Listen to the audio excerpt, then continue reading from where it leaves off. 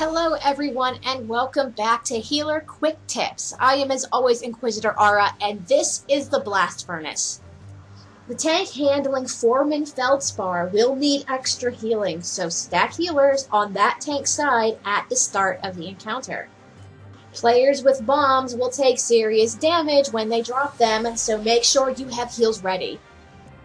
Use AoE heals as soon as possible after blast. Precast it as much as possible so it lands immediately to reduce oh shit healing.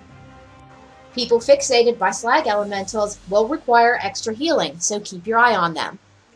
Watch placement of Melt in Phase 3. You want to place it in the back and alongside the walls away from the melee. Both the main tank and the off tank are going to need significant heals in Phase 3. This is where you're going to need pain suppression and Diva Aura, so try to save those and have them ready for this phase. And you will want to have healing cooldowns for Phase 3. Blast is cast every 5 seconds during this phase. It is okay to use them before now, but make sure you have them up before Phase 3 begins. This has been Healer Quick Tips Blackrock Foundry Edition. Thank you for watching, and have fun in the Foundry.